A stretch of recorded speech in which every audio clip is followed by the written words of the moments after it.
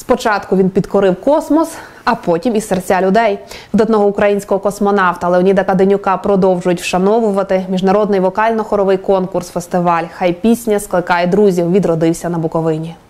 Я сама приїхала з Луганська і перевез, перевезла з собою цей конкурс. Він вісім років проходив в Луганську Е, і був вісьмий міжнародний вокально-хоровий фестиваль конкурс Хай пісня скликає друзів.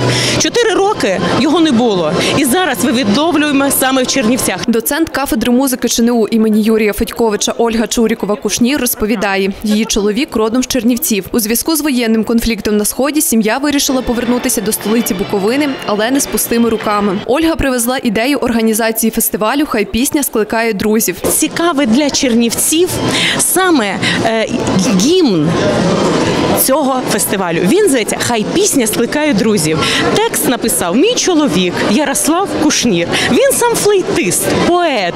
І колись ще 10 чи 11 років е, тому я йому замовила За словами ініціаторки заходу, відбиратимуть конкурсантів протягом п'яти днів. Слухачі зможуть насолодитися академічним співом солістів протягом двох днів у мармуровій залі ЧНУ, а естрадним в академічному палаці. Після чого журі оцінюватиме учасників. На сьогоднішній день ми знаємо точно, що є 127 колективів зі всієї України, з Китаю, з Румунії, з Молдови, які беруть участь у фестивалі. Якщо брати в загальному, то 850 учасників. Надзвичайно багато хотіли ще долучитись, але вже ну не було куди вмістити. Серед виконавців, котрі потрапили до списку учасників конкурсу фестивалю, Алла Пшеничко. Займатися вокалом дівчина почала ще зі шкільних років, після чого вступила до ЧНУ на спеціальність музичне мистецтво. Саме вона відкриває концертну програму. Постійно є хвилювання, скільки часу виступаю, постійно постійно хвилююсь. Хвилювання є так, але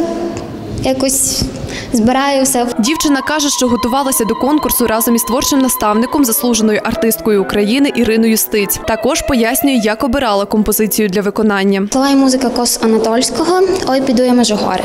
Тут розкривається е, доля дівчини, дівчини України. Судді переконують, що оцінювати конкурсантів будуть справедливо. З 2014 року у нас такої змоги не було, тому що почались військові дії. І те, що відроджується цей конкурс, а саме об'єднується схід і захід, дає нам надію на те, що війна скінчиться, і у нас народ України об'єднається і об'єднає саме пісня. Суддя Алла Козар приїхала до Чернівців зі столиці України. каже, що раніше входила до складу журі і в Луганську. Оцінюємо за 15-бальною системою. Розроблена система критеріїв. Кожний критерій оцінюється окремо. За словами ініціаторки заходу Ольги Чурікової Кушнір, переможців конкурсу фестивалю нагороджуватимуть у муздрамтеатрі імені Ольги Кобилянської. Якими будуть призи, організатори поки не розголошують. Проте переконують, що без подарунку не залишиться жоден з конкурсантів. Іванна Бородаш, Андрій Доротюк, Чернівецький промінь.